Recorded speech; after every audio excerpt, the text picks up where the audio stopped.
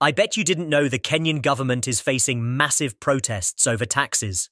Let's dive into the details. Thousands of young Kenyans have taken to the streets to protest tax hikes proposed by President William Ruto's government.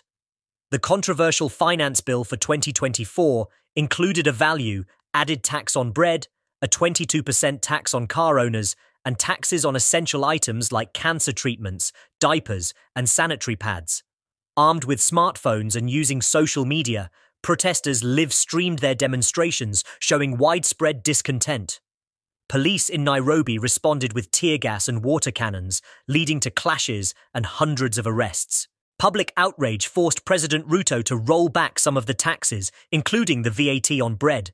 However, there are concerns that the government may introduce other taxes to fill the budget shortfall the situation remains tense, with the possibility of more protests on the horizon.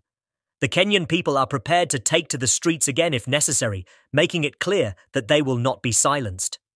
Stay tuned for more updates on this developing story. Thanks for watching.